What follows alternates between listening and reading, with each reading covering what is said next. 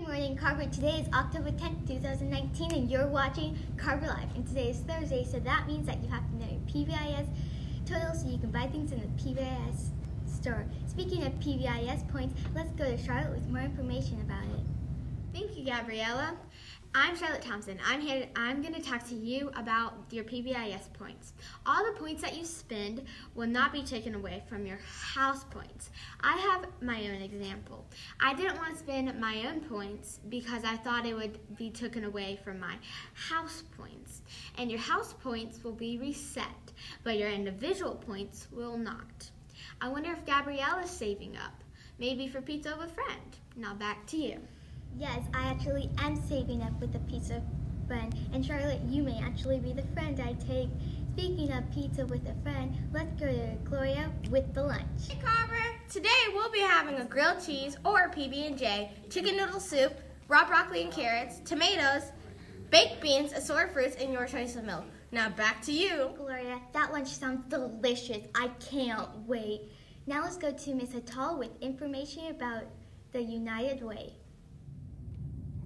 Tomorrow is hat day. Be sure you bring your dollar and support United Way. One dollar.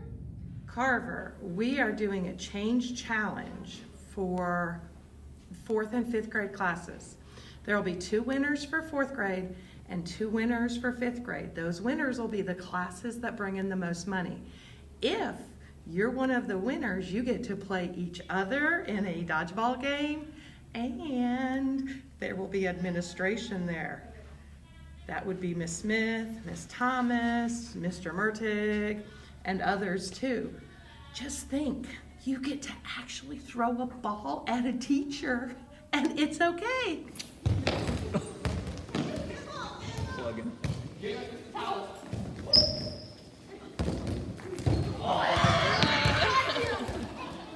I'm gonna wear my hat tomorrow. I'm signing off, but before I do, let's go to Miss Works class with the pledge. Hey Carver, why did the woman choose the elephant over the car? I'm Marley. And I'm Allison. Today we're here with Miss Works class! Please stand for the Pledge of Allegiance. I pledge allegiance to the flag of the United States of America and to the republic for which it stands, one nation, under God, indivisible, with liberty and justice for all. Please stand for, please remain standing for a moment of silence. You may be seated. The answer to the joke was because it had a bigger trunk. Now back to you.